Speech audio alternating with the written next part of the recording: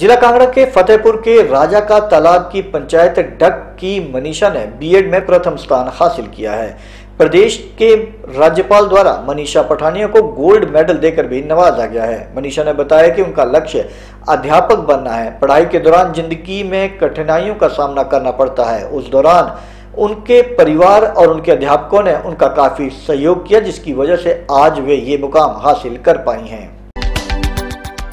फतेहपुर के राजा का तालाब की पंचायत डक की मनीषा ने बीएड में प्रदेश भर में टॉप किया। प्रदेश की महामहिम राज्यपाल द्वारा मनीषा पठानी को गोल्ड मेडल देकर नवाजा गया। मनीषा पठानिया, पत्नी सुमित पुरिया ने बताया कि उसने दसवीं 2009 में, बारहवीं 2011 में और ग्रेजुएशन 2014 में मास्टर डिग्री 2016 में और फिर बीएड की 2018 में मनीषा ने बताया कि उसका लक्ष्य अध्यापक बनना है। पढ़ाई के दौरान ज़िंदगी में कठिनाइयों का सामना करना पड़ता है। उस दौरान मेरे परिवार व मेरे अध्यापकों ने मेरा काफ़ी सहयोग किया, जिसकी वजह से आज मैं यहाँ तक पहुँची हूँ। बीएड के दौरान शादी हुई और ससुराल वालों ने भी मेरा पूरा सहयोग किया। मैं चाहती हूँ कि जो मेरा लक्ष्य है, उसे मैं पूरा कर सकूँ। मेरा नाम मनीषा पठानी है और मैं यहाँ डक से बिलोंग करती हूँ।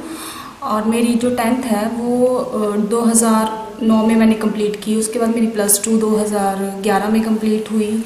फिर मैंने ग्रेजुएशन की 2014 में। उसके बाद मैंने मास्टर्स की 2016 में। फिर बीएड की। जो मेरा एम है लाइफ का, वो मेरा टीचिंग है। तब भी मतलब मैंने बीएड ऑप्ट की, जो मेरे 2018 में कंप्लीट हुई है। और इसके मतलब जब मेरी स्टडीज़ के रिगार्डिंग हर किसी को ही अपनी लाइफ में कई कठिनाइयों का सामना करना पड़ता है। बट उस दौरान मेरे जो टीचर्स थे, जो मेरी फैमिली मेंबर्स थे, उन्होंने मेरा, मुझे बहुत सपोर्ट किया, जिसकी वजह से आज मैं यहाँ तक पहुँची हूँ। और बीएड के दौरान मेरी शादी भी होगी, उसके बाद मेरे जो इन लॉज थे, उन्होंने भी मुझे पूरा ही सपोर्ट किया। अब मेरी स्टडीज़ के रिगार्डिंग सपोर्ट किया, अभी कर भी रहे हैं आगे।